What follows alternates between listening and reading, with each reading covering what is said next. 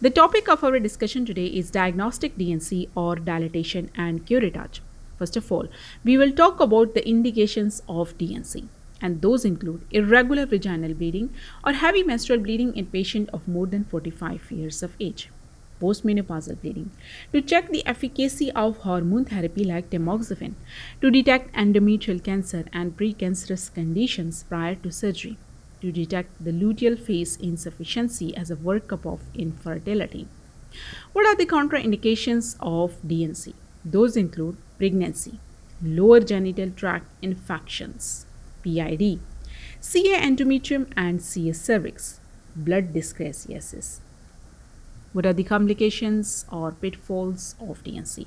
Those include infection, vaginal bleeding or spotting, cramping, pain or discomfort, uterine perforation or uterine spasm, cervical trauma or creation of false opening in the cervix. Now we will discuss the procedure of D&C. The first step is introduction. So in talks and station of obs and gynae, we will say like this. First of all, I will introduce myself to the patient and take her introduction and I will make sure that there is legitimate indication for its use. I will prescribe and document in the patient notes the misoprostol like cytotec 400 microgram 30 minutes before the procedure and NSAID like ibuprofen 30 minutes prior to the procedure after ruling out all the contraindications to the procedure by taking brief history, I will explain the whole procedure and take an informed consent. Then I will ask the patient to empty her bladder and lie on the couch in dorsal position. I will make sure that all the required equipments are present and ready. After wearing the gloves, I will clean the area, perform bimanual examination to assess the position, size and mobility of the uterus. Then I will introduce the Cusco speculum of appropriate size after lubricating it and fix it to visualize the cervix. I will measure the length of the uterus with the uterine sound. Gently introduce the large curette. Use graduated dilators only if curettes will not be able to pass. Begin with a smaller dilator and end with a larger dilator that ensure adequate dilatation of usually 10 to 12 mm.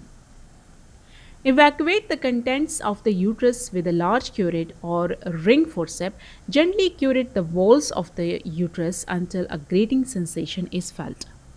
After sampling, gently remove the Cusco speculum. Empty the contents in the container having formalin and label the specimen. Send the sample to lab and schedule the follow-up visit with the report. How to send the sample? For histopathology, save the sample in formalin.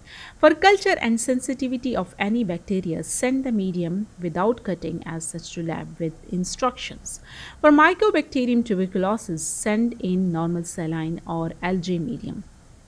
What are the other techniques of endometrial sampling? Those include Vabra, Sharman curette, Pipelle endometrial sampling, and hysteroscopy. Now, how would you provide the post-operative care to such patient? First of all, observe for any complications like bleeding, pain, and fever, etc. Secondly, monitor pain and treat accordingly. Thirdly, monitor vital signs. Then, give oral analgesics like acetaminophen and ibuprofen for pain relief. Give full course of antibiotics to prevent infection. Discharge on instructions for aftercare or follow-up and give advice regarding contraception as well.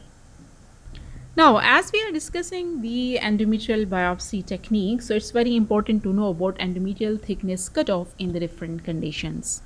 You can see that the endometrial thickness in premenopausal women depends upon the phase of the menstrual cycle.